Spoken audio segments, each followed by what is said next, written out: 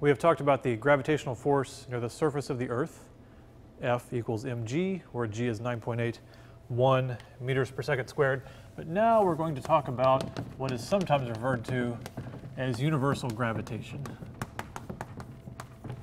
which really just means the more general description of gravitation, or you could be more ambitious and say that means the gravity that holds the universe together.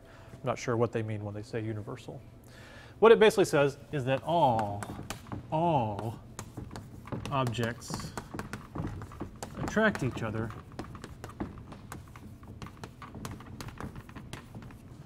due to gravity.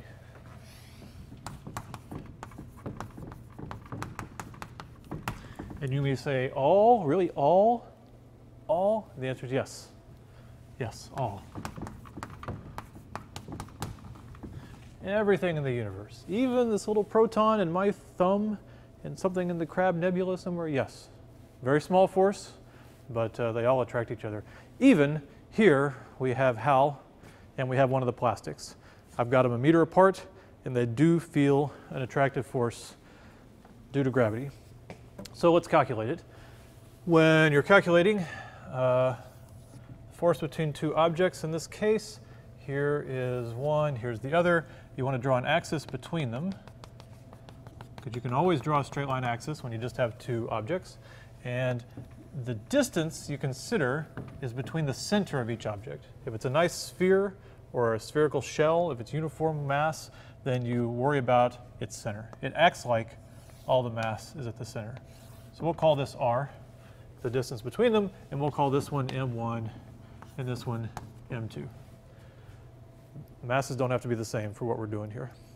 So the force you're going to get between them is, we know force is a vector, but at first we want to calculate just the scalar. We want, or I'm sorry, we want to calculate just the magnitude.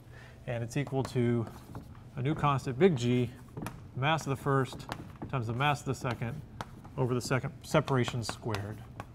So we always say big G because we want to distinguish it from little g. Little g is 9.81 meters per second squared, acceleration near the surface of the Earth. Big G is a universal constant. Okay, it is not just it does not just apply to the surface of the Earth. It applies everywhere, and it's much harder to remember. 6.674 times 10 to the minus 11. And if you ever forget the unit, you can just look at this formula and remember it. It must come out in newtons. It must be newtons, and it must have meters squared in the top to cancel that, and it must have kilograms squared in the bottom.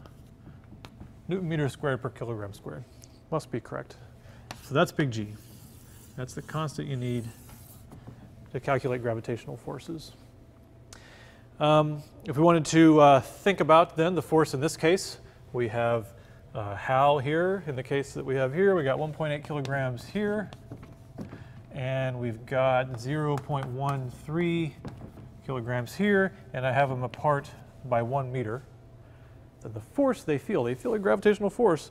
They're not rolling towards each other because it's only uh, 15.6 piconewtons oops, 15.6 pn, piconewtons, so that's 10 to the minus 12 newtons. So that's really small, so not quite enough to overcome the static friction to make them move towards each other.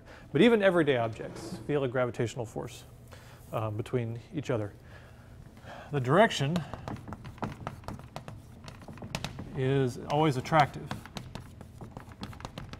All right, so in this case, um, HAL feels its force this way, and Al, or the, the plastic, feels its force that way.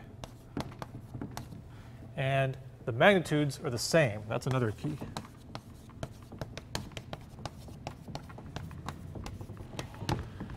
You might think, you might think that, oh, maybe the heavier one puts a bigger gravitational field on the lighter one, so the lighter one feels more, no, same, right? It's the same expression. This is the magnitude of the force, and the same force is applied each way, which has to be true by Newton's third law. Right? For every action, there's an equal and opposite reaction. Also, it has to be true to conserve momentum.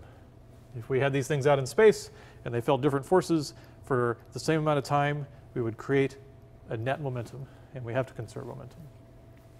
So all these things are true. The direction's attractive and the magnitudes have to be the same. So let's see what all we can do with this simple force law.